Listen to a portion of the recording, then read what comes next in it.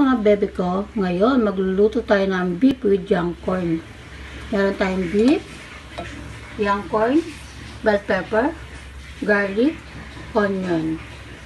Magsusutay tayo ngayon.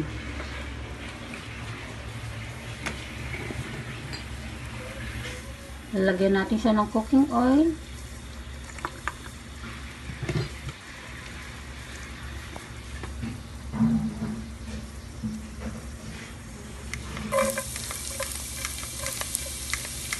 Lang natin siya maging golden brown.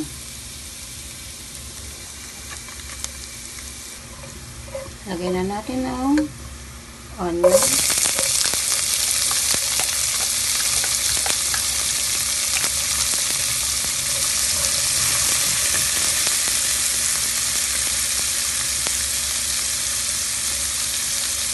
Tapos lalagyan na natin yung beef.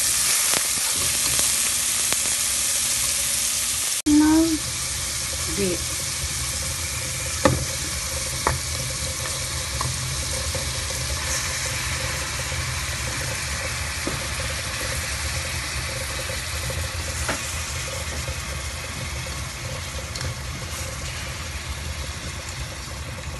Sasangkot siya lang natin siya. Babalikan natin siya ulit mamaya. Lagyan natin ng konting oyster sauce.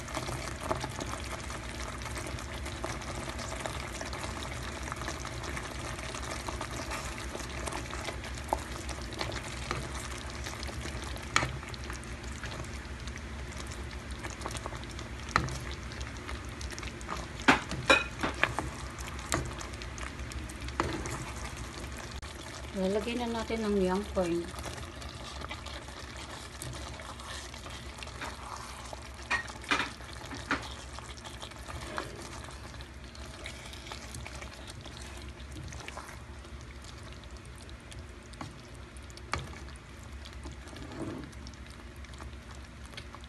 Lalagyan natin siya ng nor seasoning.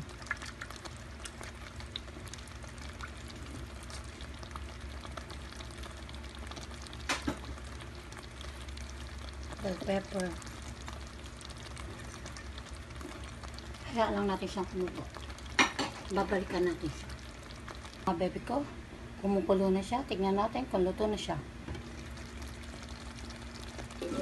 Ayan, kumukulo na. Mga baby ko, luto na ang ating beef with young corn. Ayan, sarap. Ang bango.